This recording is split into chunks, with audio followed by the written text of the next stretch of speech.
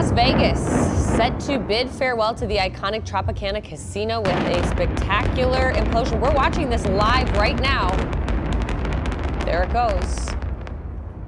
Two hotel towers leveled in just seconds.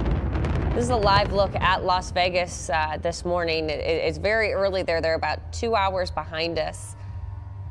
You can hear some of the cheers of the crowd who went out to check that out. An iconic hotel in Las Vegas now uh, being turned into a baseball stadium. Closed after 67 years. Wow, amazing. You caught it live right here on the Fox 9 Morning News. We'll be right back.